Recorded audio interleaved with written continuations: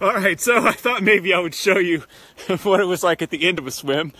One, to let you know that I made it out, and two, just to uh, just to share this nice this nice uh, mid-December day in Switzerland with you.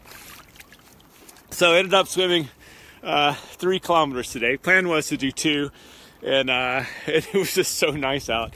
Uh, decided to add an extra one. No, you know, once you get numb in the water, yeah, it's not that hard just to keep staying in and swimming. Uh, did get a bit chilly, and uh, yeah, out around the break here, water gets super choppy. So uh, I fortunately picked the direction swimming into the wind and into the chop, so I got hammered in the face for the first half of the swim. But it made it really nice to turn around and swim back um, with at least feeling like the current was with me or not getting smacked in the face with the wave so much. And uh, yeah, it's really festive. All the, the Christmas lights are out. So I swam around the village. Um, yeah, kind of hard to see. Somewhere behind me there.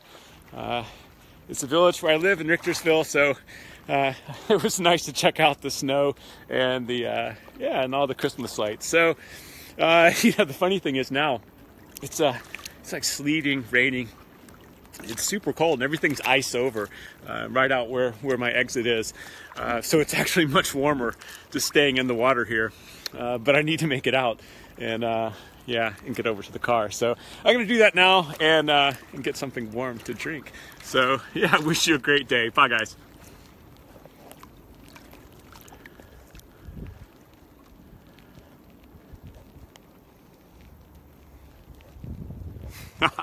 my cold fingers, I can't turn it off. I have to figure out how to do this. Maybe with my nose.